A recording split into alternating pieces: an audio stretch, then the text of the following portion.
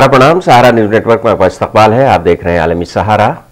अपने हफ्तावार programme sports roundup के साथ हाजिर हूँ मैं शबाब अनवर नाजिन, जैसा कि आप जानते हैं कि हम इस प्रोग्राम में हफ़्ते भर की खेल सरगर्मियों का जायजा लेते हैं और ये बताने की कोशिश करते हैं कि मुल्क और बैरून मुल्क में हिंदुस्तानी खिलाड़ियों की कारकर्दगी क्या रही है पिछले हफ़्ते और ये भी बताने की कोशिश करते हैं कि हिंदुस्तान के अलावा भी बैन अवी सतह पर कौन सी खेलकूद सरगर्मियाँ रही हैं और कौन से नए रिकॉर्ड्स बने हैं या नए रिकॉर्ड, पुराने रिकॉर्ड टूटे हैं।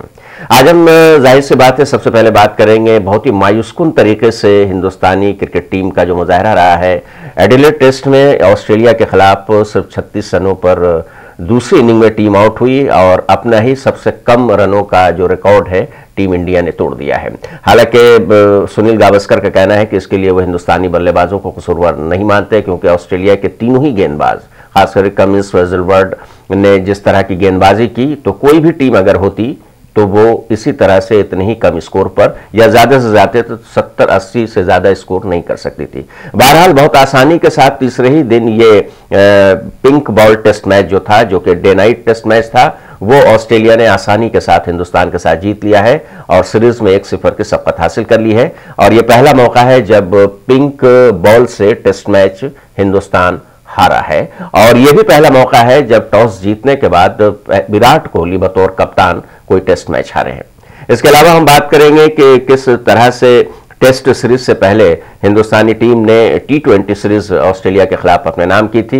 इसके अलावा हम किरण रिजिजू की बात करेंगे, मुल्क के स्पोर्ट्स मिनिस्टर की, जिन्होंने साफ़ तौर पर कह दिया है कि ओलंपिक के लिए हमारी अभी कोई तैयारी नहीं है। हम अभी अमेरिका और चाइना का मुकाबला नहीं कर सकते। हमारा जो टारगेट है, दो हज़ार अट्ठाईस के ओलंपिक का है, जिसमें हम टॉप टेन में हिंदुस्तान को लाने की कोशिश करेंगे। इसके अलावा एक अहम खबर यह है कि अबू धाबी में, जो कि यूएई का एक खास शहर है और क्रिकेट का हब हो चुका है, वहाँ टी टेन क्रिकेट का इनका होता है इस मरतबा एक हिंदुस्तानी टीम पुणे की टीम को इसमें शामिल किया गया है और पुणे की टीम ने हाल ही में अपने इंटरनेशनल क्रिकेट से रिटायरमेंट लेने वाले पाकिस्तान के तेज गेंदबाज मोहम्मद आमिर को अपनी टीम में शामिल किया है। तो इससे ऐसा लग रहा है कि अब आईपीएल में भी शायद पाकिस्तानी खिलाड़ियों के शामिल होने की राह हमवार हो जाएगी। इसके अलावा हफ़्ते भर की और कई खेल सरगर्मियाँ हैं ऐसे जिन पर हम वक्त रहते हुए बातचीत करेंगे तीस मिनट के अंदर। हमारे साथ एक मरतबा फिर जुड़े हैं। लाइव अपने ज़माने के मशहूर क्रिकेटर और सेलेक्टर जनाब जीशान यकीन साहब, हम आपका आलमी सहारा में खैर मकदम करते हैं। तो नाजरीन, शुरू करते हैं स्पोर्ट्स राउंड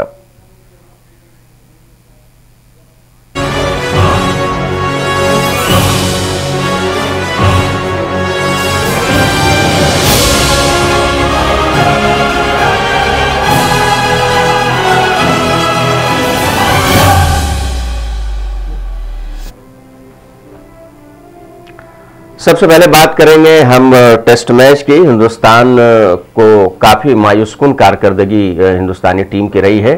और हम ये कह सकते हैं कि जिस तरह से हिंदुस्तानी खिलाड़ियों का ये मुजाहरा रहा है, वो इंतहाई अफसोसनाक रहा है। और कुल मिलाकर ये देखा जा सकता है कि पहले ही टेस्ट में काफ़ी मायूसी हाथ लगी है हिंदुस्तानी क्रिकेट टीम को। और हिंदुस्तानी टीम दूसरी इनिंग में सिर्फ़ 36 रनों पर आउट हो गई, जो कि अपना ही कम स्कोर का टेस्ट मैच में रिकॉर्ड हिंदुस्तानी टीम ने तोड़ दिया है। और इस तरह से जो 42 रनों का जो स्कोर था, सबसे कम स्कोर, वो अब नीचे चला गया है और 36 रन का स्कोर सिर्फ़ कर पाई टीम इंडिया। और हिंदुस्तान ने अपना ही रिकॉर्ड तोड़ा है किस तरह से जल्दी जल्दी हिंदुस्तानी बल्लेबाज आउट होकर पवेलियन लौटे हैं। और एक तरह तरह के रिमार्क्स आ रहे हैं, और किसी ने लिखा है फेसबुक पर कि ऐसा लगता था कि ड्रेसिंग रूम में कोविड 19 की जो वैक्सीन मुफ़्त में बट रही है, इस तरह से हिंदुस्तानी खिलाड़ी इतनी जल्दी में लौटे हैं। लेकिन कुल मिलाकर गावस्कर ने, सुनील गावस्कर ने इन बल्लेबाजों का बचाव किया है। और सुनील गावस्कर का ये कहना है कि कोई भी टीम अगर होती तो ज़्यादा से ज़्यादा 80 रन ही बना सकती थी, इससे ज़्यादा नहीं बना सकती थी। अगर हिंदुस्तानी बल्लेबाजों ने 36 रन बनाए तो इसका पूरा क्रेडिट मैं ऑस्ट्रेलिया के गेंदबाजों को दूँगा, ये कहना है। और हमारे साथ सबक क्रिकेटर जीशानुल यकीन जुड़ रहे हैं। जीशान, जिस तरह से टेस्ट मैच एडिलेड में ये खेला गया और जिस तरह से 36 रनों पर दूसरी इनिंग में टीम आउट हुई, हालाँकि गावस्कर ने बचाव किया है भारतीय बल्लेबाजों का। उन्होंने कहा है कि कोई भी टीम अगर होती तो ज़्यादा से ज़्यादा सत्तर अस्सी रन बना सकती थी। ये इस तरह का बचाव किया है और क्या ऐसा हो गया कि पहली इनिंग्स में सबकत हासिल करने के बाद सिर्फ़ तीसरे ही दिन टीम इंडिया शिकस्त से दो चार हो गई? नहीं देखे मुझे गावस्कर साहब की अपनी सोच है वो एक बड़ी सोच वाले हैं उनके हिसाब से उनकी कोई बात पे मैं कुछ कहूँगा नहीं शबाब साहब। जी। लेकिन मैं इतना ज़रूर कहूँगा कि ये हार तो हार है और वो सामने है और वो भी ऐसा नहीं है कि आप कोई एलपीडब्ल्यू आउट हो रहे हो या इस तरह के गलत डिसीज़न में आउट हो रहे हो। आपने बैट से बॉल को टच करके उसके बाद ही आउट हुए हैं। तो मुझे मुझे नहीं लगता है कि ये इसमें कोई बचाव की ज़रूरत है। आपने खराब खेला आप एक्सेप्ट करो कि आपने इस इनिंग में खराब खेला और आप हारे लेकिन निशान ये कोई वो नहीं है। निशान ये कैसे कहा जा सकता है कि अगर दूसरी टीम होती तो 70-80 रन से ज़्यादा नहीं बना सकती थी? क्योंकि अगर डेप्थ की बात करें तो हिंदुस्तान से ज़्यादा डेप्थ बल्लेबाजी में बहुत सारी टीमों के पास नहीं है। लेकिन ये पूरे पूरी तरह से ज़िम्मेदारी हिंदुस्तान के बल्लेबाजों को लेनी पड़ेगी कि किस तरह से उन्होंने पहले तो काफ़ी फील्डिंग खराब की, जिस तरह की शुरुआत गेंदबाजों ने अच्छी की थी सबका दिलाई उसके पाँच कैच गिराए उसके बाद जब बल्लेबाजी की नौबत आई दूसरी इनिंग में तो इतना ओवर कॉन्फिडेंट हो गया कि सिर्फ़ छत्तीस रन टेस्ट मैच में इतनी जल्दी क्या थी? देखिए शबाब साहब इसमें वो एक्सेप्ट करना चाहिए कि हम, हमने खराब ये टेस्ट मैच खेला है, और ये खराब उस लेवल तक आ गए कि हम छत्तीस पे आउट हुए हम आप समझे कि उन्नीस के बाद से ये पहली तो ऐसा हुआ है। अदरवाइज़ इसके पहले हम 42 पे कुछ पे आउट हुए थे, एक बार इंग्लैंड के अगेंस्ट में। लेकिन ये 36 रन पे आउट होना मीन्स के लोएस्ट हो गया ना ये तो। अब आगे पता नहीं, ये 36 के नीचे भी होएगा, क्या होएगा, पता नहीं। क्रिकेट में कुछ भी हो सकता है। लेकिन आप बचाओ, कोई भी बचाव करने की ज़रूरत नहीं है। जहाँ कमियाँ हैं, जो गलतियाँ हुई हैं, उसके ऊपर में गौर करना चाहिए। मुझे बहुत खुशी है, विराट कोहली के स्टेटमेंट से हम बाउंस बैक करेंगे। और जो अगला टेस्ट होएगा, ये होना चाहिए अप्रोच ये नहीं कि हम किसी को सपोर्ट करें उसकी गलतियों को छुपाएँ और अपना मफाद हासिल करने की सोचे। इसमें ये सब इस तरह के स्टेटमेंट किसी को भी नहीं देने चाहिए। ऑस्कर साहब की बात को मैं कभी काट नहीं सकता कि अपनी सोच में, वो अपनी सोच के हिसाब से कहते हैं। लेकिन जहाँ तक मैं जानता हूँ क्रिकेट के लिए जो देखी है, उसके हिसाब से ये खराब क्रिकेट रहा है इनका। हम ये ज़रूर जानते हैं कि विराट कोहली पुजारा रायना और मयंक अग्रवाल अच्छा बैट्समैन है। तो चलिए विराट कोहली अब वापस जैसे तयशुदा प्रोग्राम था वापस हिंदुस्तान आना है जचगी होनी है उनकी बेगम के यहाँ वो टीम को छोड़ करके आ जाएँगे। और उसके बाद चूँकि रोहित शर्मा भी तीसरे टेस्ट से पहले टीम में शामिल नहीं हो सकते उन्हें क्वारंटाइन वहाँ पर किया गया है वो जब पहुँचे ऑस्ट्रेलिया तो कुल मिलाकर सारा दारोमदार जो है वो उन खिलाड़ियों पर है जो कि इस टेस्ट मैच में अच्छा मुजाहरा नहीं कर सके। और हम अपने नाजरीन को बता दें कि पहला मौका है, हालाँकि दूसरा ही pink ball day night test Hindustan खेल रहा था। पहला उसने अपने मुल्क में खेला था, लेकिन ये पहली हार है डे नाइट यानी पिंक बॉल टेस्ट मैच में हिंदुस्तान की। और उधर विराट कोहली की टेस्ट मैच में बतौर कप्तान टॉस जीतने के बाद ये पहली हार है। हम आपको याद दिला दें कि काफ़ी जोश में थी हिंदुस्तानी टीम, क्योंकि वनडे सीरीज़ गंवाने के बाद टीम इंडिया ने जो टी ट्वेंटी की सीरीज़ थी, वो जीती थी। हालाँकि आखिरी मैच हिंदुस्तान हार गया था, लेकिन कुल मिलाकर अगर देखा जाए तो टी ट्वेंटी सीरीज़ बहुत ही शानदार तरीके से टीम इंडिया ने अपने नाम की थी। हम से यह जानना चाहेंगे कि वनडे सीरीज़ हम हारे टी ट्वेंटी में ज़बरदस्त वापसी की और ऐसा लग रहा था, हालाँकि तीनों फॉर्मेट बहुत अलग अलग है। तीनों में काफ़ी फ़र्क है जिशान, लेकिन ऐसा लग रहा था कि साइकोलॉजिकल एक फ़ायदा टीम इंडिया को मिलेगा, जिस तरह से टी ट्वेंटी में शानदार मुजाहरा करके ज़बरदस्त वापसी की थी वनडे सीरीज़ हारने के बाद, लेकिन ऐसा हो नहीं सका। लेकिन बहरहाल क्या आपको ये मान के हम चल सकते हैं कि अभी भी टीम इंडिया जो है टी ट्वेंटी की कम से कम एक नाकाबिले शिकस्त टीम है। हाँ नहीं, बिल्कुल बिल्कुल, देखें, लेकिन आप इसमें ये भी गौर करें कि अगर आप टेस्ट में पार्थिव, ये ये पृथ्वी पृथ्वी और मयंक अग्रवाल ओपन कर रहे हैं तो वहाँ पर धवन और राहुल ओपन कर रहे थे शवाब साहब। गौर करने का बहुत ज़रूरी है। और धवन और राहुल दोनों ही प्रूफ कर चुके हैं कि वो किसी भी फॉर्मेट में अच्छा खेल सकते हैं। मुझे बहुत समझ में नहीं आया, ये जो टेस्ट की टीम बनी है, इसमें जिस हिसाब से बैट्समैन को इन्होंने रखा है, मालूम है उन्हें कि उसी बॉलर को खेलना है, जिस बॉलर को के सामने में धवन और राहुल खेल के आ रहे हैं, उसके बावजूद अगर ये करेंगे कि इनको इसमें ही खेलना है, इसमें नहीं खेलना है तो ये थोड़ा सा मुझे अब लगता है कि चेंज थोड़ा सोचना पड़ेगा।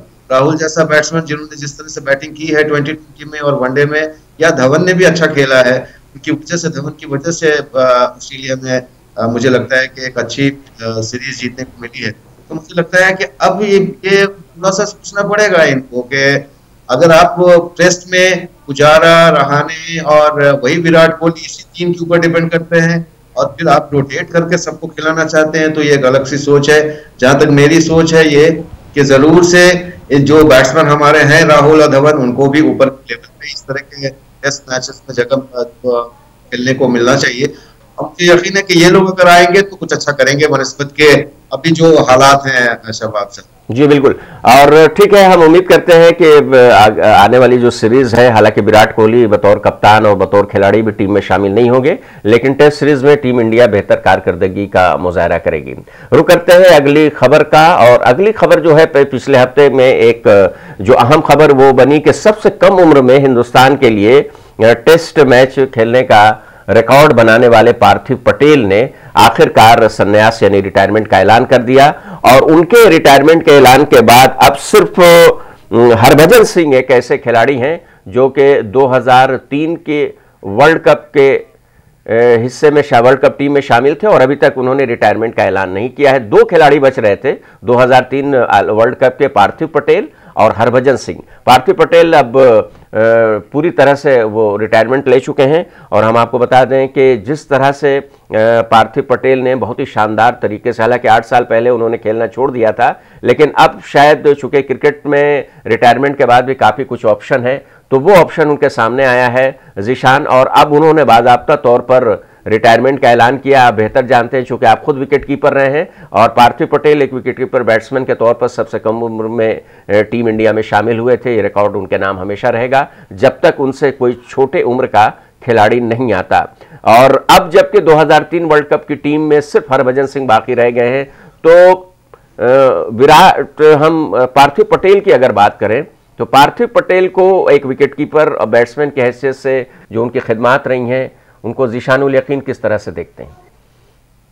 आ, नहीं बिल्कुल देखें ये बहुत बड़ा अचीवमेंट था। मुझे आज भी याद है कि 2002 में इंग्लैंड में मैच था और इनको डायरेक्ट इवन के आपको मैं बताऊँ कि रणजी ट्रॉफी भी इन्होंने उसके पहले नहीं खेला था।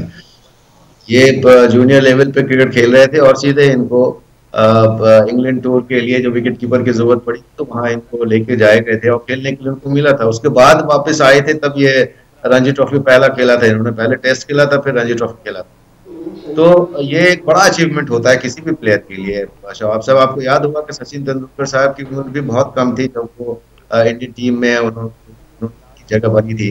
ऐसे ही बहुत सारे अभी आप देखें पृथ्वी शाह हैं इनकी भी उम्र ज़्यादा नहीं है। लेकिन हाँ ये ज़रूर है कि एक विकेट कीपर का बहुत इंपॉर्टेंट रोल होता है किसी भी क्रिकेट टीम के लिए चाहे वो इंडिया की टीम हो या किसी डिस्ट्रिक्ट की टीम हो। अच्छा हरभजन सिंह जिशान हरभजन सिंह अब एक वाहिद आप बेहतर जानते हैं वाहिद एक ऐसे क्रिकेटर हैं इस रिटायरमेंट के बाद जो कि 2003 में आलमी कप टीम का हिस्सा थे तो अब हरभजन सिंह के पास कितनी क्रिकेट बाकी है? क्या आने वाले दिनों में हम उनके भी रिटायरमेंट की खबर सुन सकते हैं? मुझे यकीन है जैसे मैं समझ रहा था शबाब साहब के ये जो आईपीएल में उनको चेन्नई ने कॉल नहीं किया आ, किसी भी वजह से मैं बहुत तफसील से नहीं बोलना चाहता हूँ यहाँ पे इसलिए वो कुछ बातें ऐसी हैं जो कि मैं नहीं चाहता लेकिन उनको अगर जब कॉल नहीं किया चेन्नई की टीम ने, धोनी के कैप्टनशिप में रहते हुए भी तो मुझे लगता है कि अब वो वक्त आ गया है कि उन्हें इज़्ज़त से अपने आप को दूर करना चाहिए क्रिकेट से। और जो बाकी जो क्रिकेट से अटैच होने के लिए बहुत सारे सारी जगह हैं शबाब से जहाँ पे वो खुद को अपने आप को अटैच कर चुके हैं। आपको याद होगा कि जब वर्ल्ड कप की टीम गई थी तो वो एक कमेंटेटर के ऐसे से भी वहाँ पे चले गए थे, किसी एक चैनल के साथ में। तो इस तरह की बहुत सारी चीज़ें हैं, लेकिन अब तक उन्होंने रिटायरमेंट नहीं लिया तो ये उनका अपना पर्सनल डिसीज़न है। लेकिन मुझे लगता है कि का वक्त भी आ गया है। कि बिल्कुल हो सकता है कि नए साल के आखिरी हफ़्ते या फिर नया साल शुरू होने के बाद हरभजन सिंह के रिटायरमेंट का भी ऐलान हो जाए। बहरहाल पार्थिव पटेल के बारे में यह कहा जा सकता है कि सबसे कम उम्र के क्रिकेट के क्रिकेटर के हैसियत से टीम इंडिया में शामिल हुए थे। रणजी ट्रॉफी भी नहीं खेली थी और काफ़ी लंबा वक्त उन्होंने गुजारा। एक ब्रेक का वक्त हो गया है। जिशाल यकीन हमारे साथ मौजूद रहेंगे। ब्रेक के बाद लौटेंगे तो बात करेंगे पिछले हफ़्ते की कुछ और खेल सरगर्मियों के बारे में।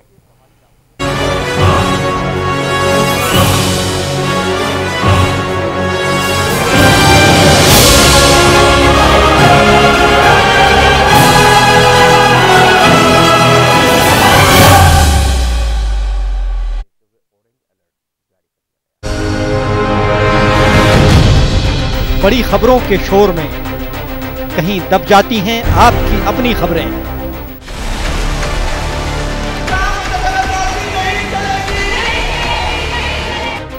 लेकिन आपके हर मसले पर टिकी हैं हमारी नज़रें।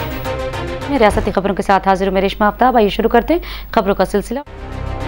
कश्मीर से कन्याकुमारी तक हर इलाकाई खबर की खुली पड़ते रियासती खबरें। सबसे पहले खबर उत्तर प्रदेश से है। और अब बात जम्मू कश्मीर की। और खबर बिहार से देखेंगे। पीर से शनिचर दोपहर 12 बजे डेढ़ बजे शाम पाँच बजे और साढ़े सात बजे।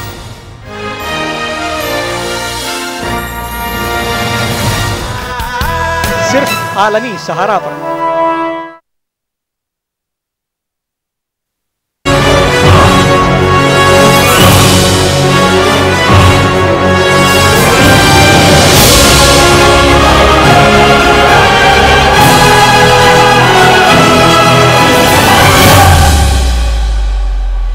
वक्त के बाद एक बार फिर आपका खैर मकदम है। आप देख रहे हैं स्पोर्ट्स राउंड अप हमारे साथ बातचीत करने के लिए लाइव हैं जीशानुल यकीन जो कि सबक क्रिकेटर और विकेट कीपर और फिर सेलेक्टर भी रहे हैं और इस वक्त एक क्रिकेट एक्सपर्ट की हैसियत से अपनी खदमात को अंजाम दे रहे हैं। साल ख़त्म होने जा रहा है और नया साल जब आएगा तो ज़ाहिर सी बात है ऑस्ट्रेलिया के साथ जो हिंदुस्तान की सीरीज़ ऑस्ट्रेलिया में चल रही है, वो ख़त्म हो चुकी होगी। शुरुआत टेस्ट सीरीज़ की काफ़ी ख़राब रही है। तीसरे ही दिन टीम इंडिया को शिकस्त का सामना करना पड़ रहा है। लेकिन इंग्लैंड एक ऐसी टीम है जो नए साल के आगाज़ में ही हिंदुस्तान के दौरे पर आने वाली है और इंग्लैंड की टीम के खिलाफ मेज़बान, यानी हिंदुस्तान टीम का अपने सरजमीन पर मुजाहरा काफ़ी अच्छा रहा है। लेकिन एक इस दौरे से मुतालिक एक ख़ास बात यह है कि ज़्यादातर मैचेस जो हैं, वो गुजरात और अहमदाबाद के जो मोटरार स्टेडियम है, जिसे एक नई शक्ल दी गई है और कहा जाता है जिस स्टेडियम को हम आपको स्क्रीन पर भी दिखाने की कोशिश करेंगे कि ये दुनिया का सबसे बड़ा क्रिकेट स्टेडियम बन गया है।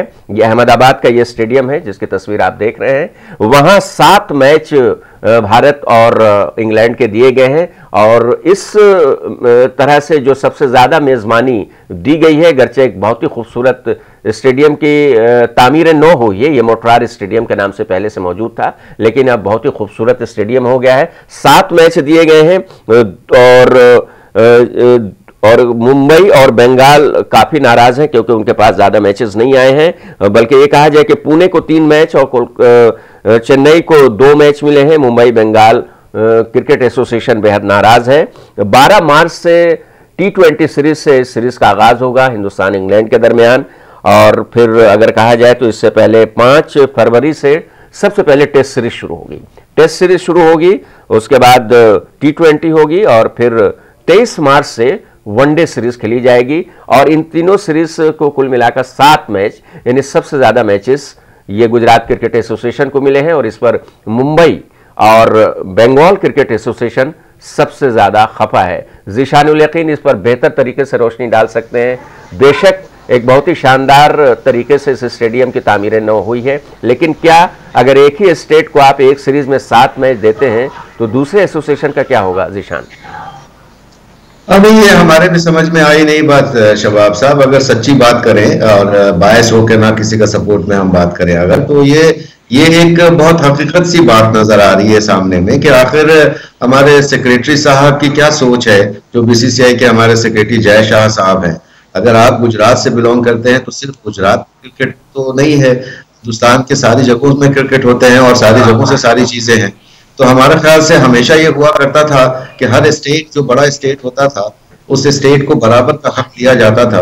लेकिन अब ये भी आप समझें कि जो प्रेसिडेंट साहब हमारे बीसीसीआई के हैं, वो रहने वाले बंगाल के हैं और बंगाल नाराज़ हो रहा है प्रेसिडेंट के रहते हुए। ये हमारी कुछ समझ में आ नहीं रही है आखिर बीसीसीआई में क्या चल रहा है, किस तरह की चीज़ें चल रही है। जहाँ तक सीरीज़ की बात है इंग्लैंड से वो एक अच्छी सीरीज़ ज़रूर होने वाली है, लेकिन डिपेंड करता है कि उस वक्त तक जो हालात अभी कोरोना को लेकर के हैं, शबाब साहब, वो क्या हो पाता है उस वक्त तक?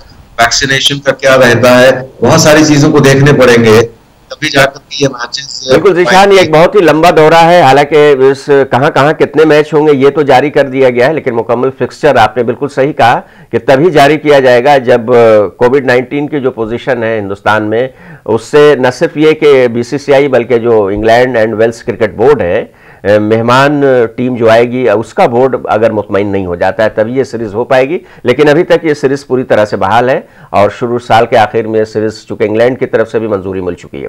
और बात हम एक ऐसे क्रिकेटर की करने जा रहे हैं जो कि कुछ दिन पहले तक खेलता पाकिस्तान के लिए था, मोहम्मद आमिर। बहुत ही जाना पहचाना नाम। यहाँ तक कि दुनिया के हर मुल्क में इस गेंदबाज को काफ़ी इज़्ज़त की नज़र से सिर्फ़ इसलिए देखा जाता है कि इसने बहुत डिसिप्लिन के साथ कहा जाता है कि बहुत ही अच्छी गेंदबाजी की है। लेकिन अब उन्होंने दो दिन पहले रिटायरमेंट का ऐलान किया है और इनसे जुड़ी हुई एक खबर यह है कि अबू धाबी में जो टी टेन जो लीग खेली जाती है क्रिकेट में, उसमें वो एक भारतीय भारतीय टीम के साथ वो मैच खेलेंगे यानी भारतीय टीम के साथ मोहम्मद आमिर जुड़ गए हैं। काफ़ी दिनों के बाद ये शायद ये मौका आ रहा है जब को कोई पाकिस्तानी, किसी हिंदुस्तानी टीम के साथ जुड़ा है। आपको याद होगा कि जब आईपीएल की शुरुआत हुई थी, उसमें बहुत ज़्यादा पाकिस्तानी खिलाड़ी थे, इनमें शुएब अख्तर भी थे और भी दूसरे खिलाड़ी थे।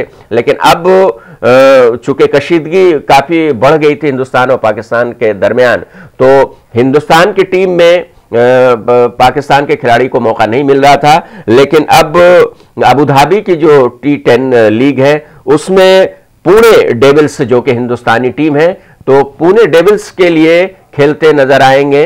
मोहम्मद आमिर, आपका क्या रिएक्शन है, जीशान? क्या उम्मीद कर सकते हैं कि आने वाले दिनों में आईपीएल में भी एंट्री हो पाएगी जिस तरह से पाकिस्तानी खिलाड़ियों को अब इजाज़त मिली है? गरचे ये मैच, हिंदुस्तान में नहीं होगा।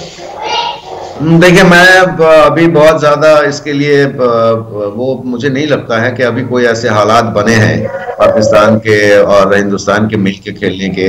तो कोई अगर न्यूट्रल वेन्यू होता है और कोई आईसीसी के लेवल का कोई मैच होता है तो वो एक मजबूरी होती है। लेकिन जहाँ तक ये फ्रेंडली मैचेस या टूर्नामेंट्स इस तरह की चीज़ें अगर खेलने के लिए अभी मुझे नहीं लगता है कि वो हालात बने हैं अभी।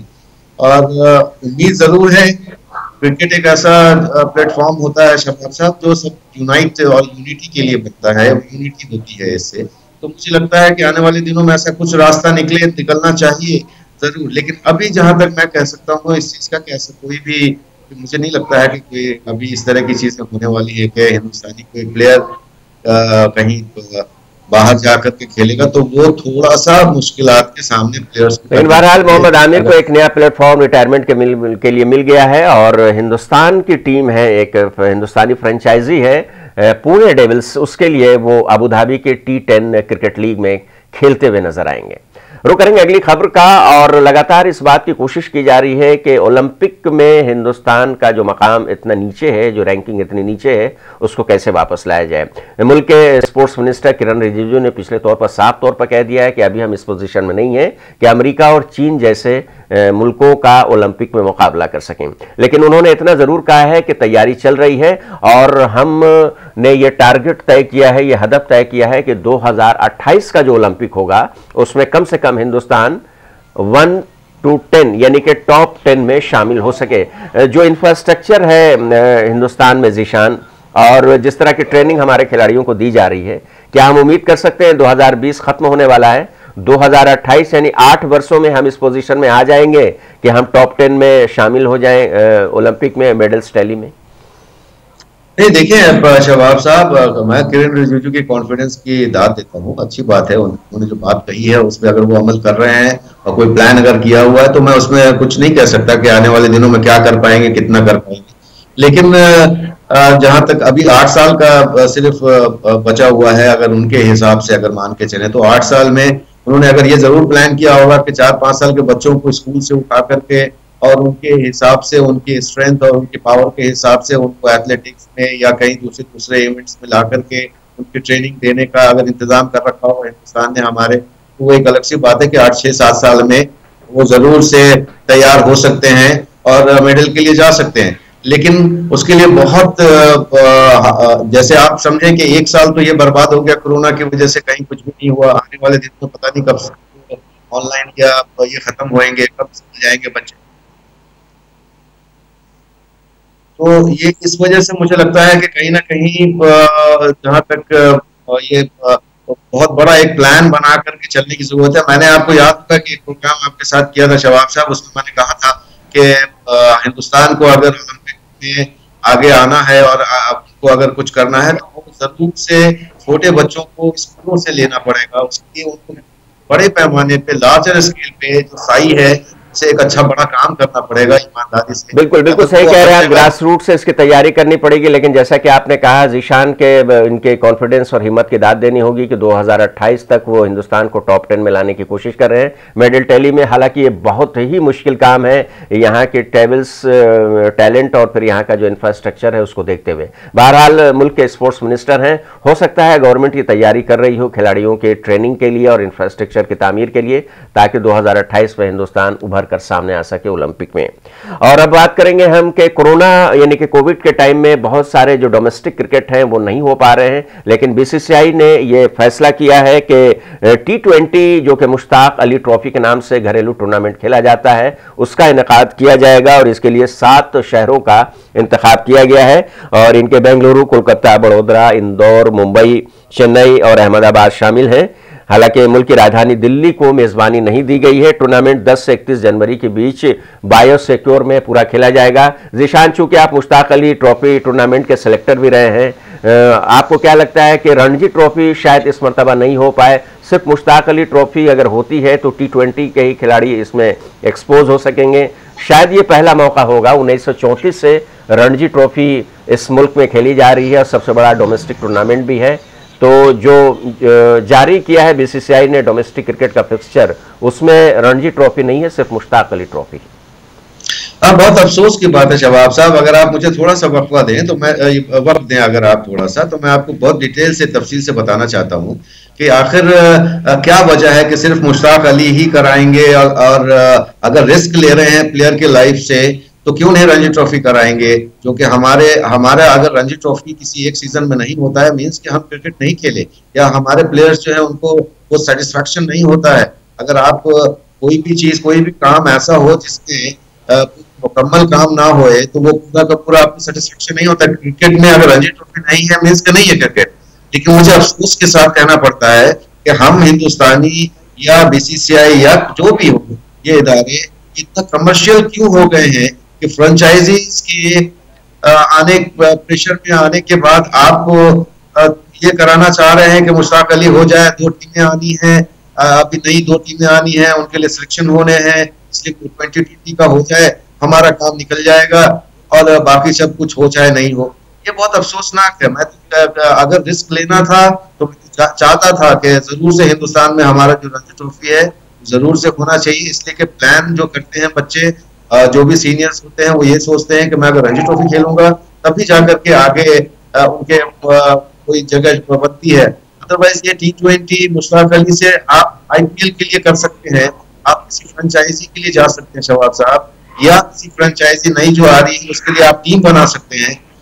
इंडिविजुअल प्लेयर्स के लिए इससे कोई फ़ायदा नहीं है इसके चलिए एक सवाल खड़ा हो रहा है सुशांत की तरफ़ से भी कि सिर्फ़ मुश्ताक अली ट्रॉफी ही क्यों रणजी ट्रॉफी क्यों नहीं? अगर खिलाड़ियों को खतरे में नहीं लाना है तो फिर कोई भी टूर्नामेंट नहीं होना चाहिए था। और भी बातचीत हो सकती थी कई और खबरें हमारे पास हैं। हम जाते जाते सिर्फ़ आपको बता दें कि रूस को दो ओलंपिक के लिए उन पर बैंड लगा है क्योंकि उनके कई एथलीट जो हैं वो आ, मतलब के मनशियात लेने के इल्ज़ाम में पहले भी कसूरवार पाए गए थे, अब भी कसूरवार पाए गए थे तो एक बड़ा झटका लगा है। वक्त खत्म हो गया है, शुक्रिया अदा करेंगे जीशानुल यकीन का हमारे साथ जुड़ने के लिए, आलमी सहारा से बात करने के लिए।